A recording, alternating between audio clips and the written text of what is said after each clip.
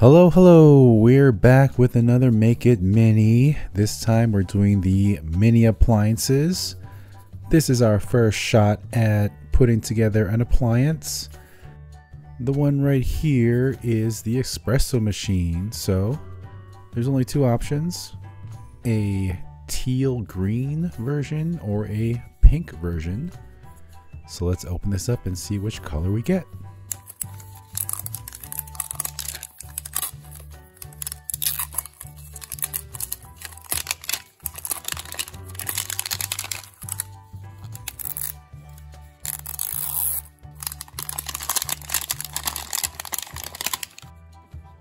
And this is the teal version.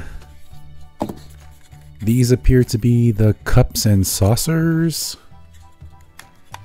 Let's take a quick peek at this appliance. Love the retro look.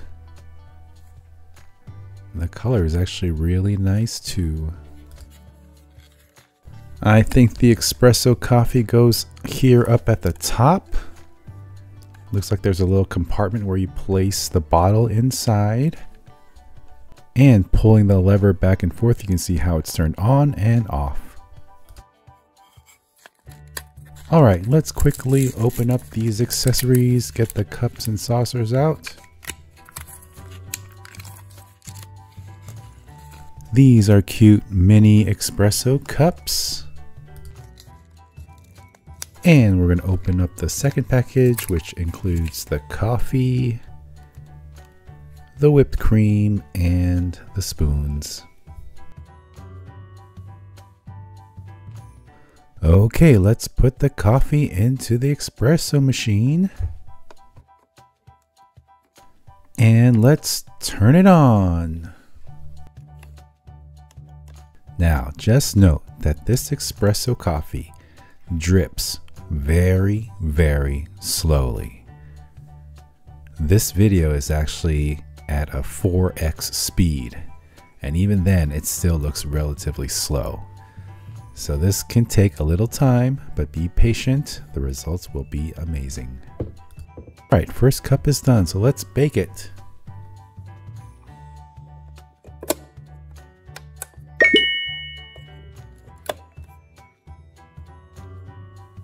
The recipe called for baking it a second time after you put on the whipped cream topping, so let's do that.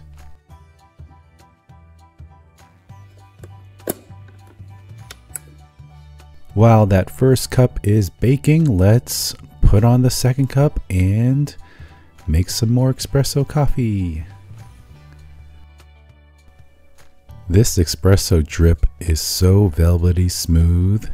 It's so relaxing to watch.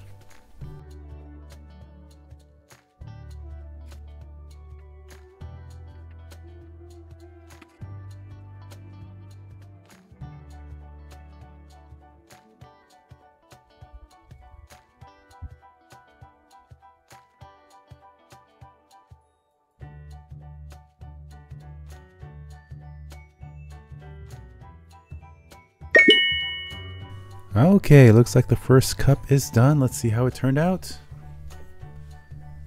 And it looks great.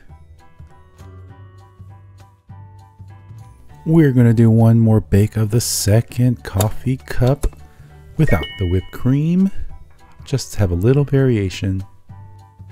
I'm getting highly caffeinated just by looking at these.